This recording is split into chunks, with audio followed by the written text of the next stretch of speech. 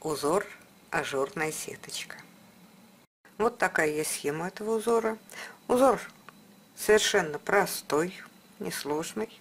Э, поможет вам научиться разбираться в схемах, если вы только начинаете вязать. Как видите, раппорт узора 11 петель. Я вам покажу на двух раппортах. Для этого я набрала 22 петли. Дополнительную петлю для симметрии узора в данном случае набирать не нужно. Делаем 5 воздушных петель. Замечаю вот последнюю петлю нашей начальной цепочки. И в эту последнюю петлю начальной цепочки вяжем столбик без накида. 3 воздушных петли. Столбик без накида в следующую петлю цепочки. 3 воздушных петли. На начальной цепочке пропускаем 1, 2, 3 петли и в четвертую вяжем столбик с одним накидом. 2 воздушных петли, столбик с одним накидом в ту же петлю, куда мы уже связали столбик. 3 воздушных петли. На начальной цепочке пропускаем 1, 2, 3 петли, вяжем сюда столбик без накида. 3 воздушных петли, столбик без накида, следующую петелечку начальной цепочки, 5 воздушных петель, 4, 5, еще один столбик без накида в следующую петлю, здесь ничего не пропускаем, 3 воздушных петли и еще один столбик без накида. Результате у нас получился вот такой вот типа цветочек. 3 воздушных петли, пропускаем 1, 2, 3 петли, в четвертую вяжем столбик с одним накидом.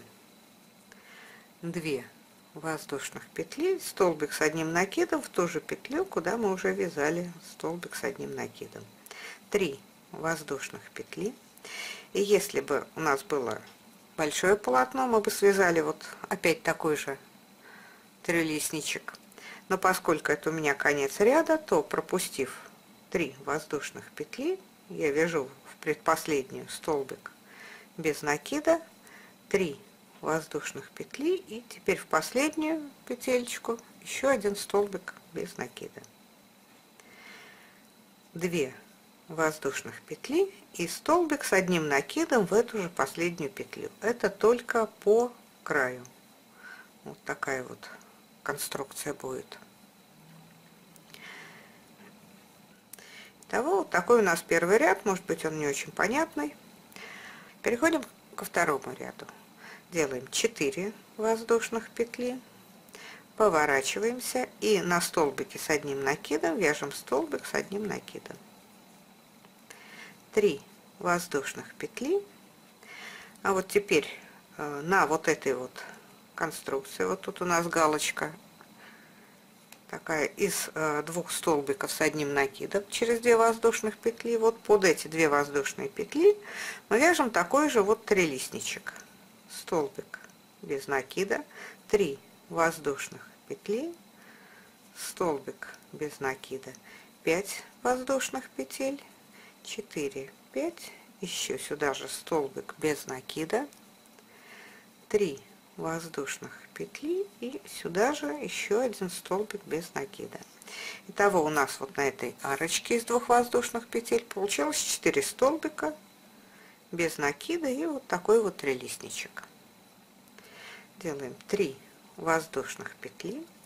А теперь мы вяжем вот такую же конструкцию из двух столбиков с одним накидом через две воздушных петли вот на самом длинном лепесточке, на среднем.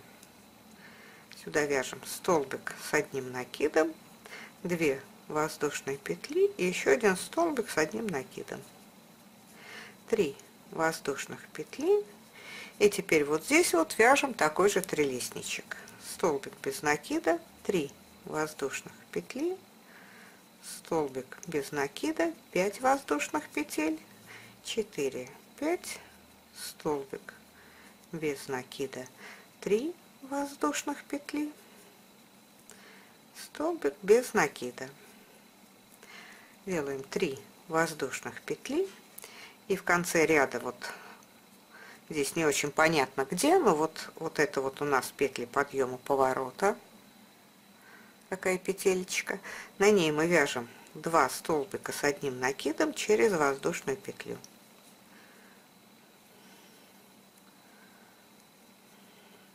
Вот у нас уже два ряда есть. Третий ряд э, вяжется очень похож на первый, только вот уже на том, что у нас уже есть. То есть делаем 5 воздушных петель, 4, 5, поворачиваемся.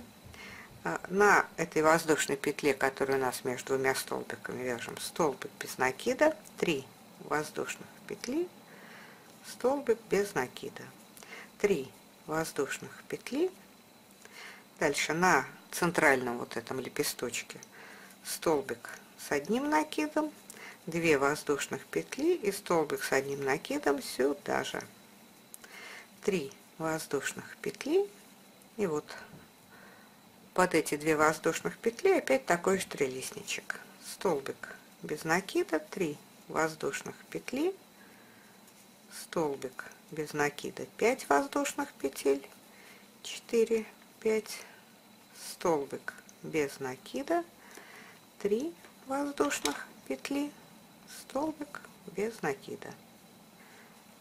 3 воздушных петли на центральном лепесточке столбик с одним накидом 2 воздушных петли сюда же столбик с одним накидом 3 воздушных петли.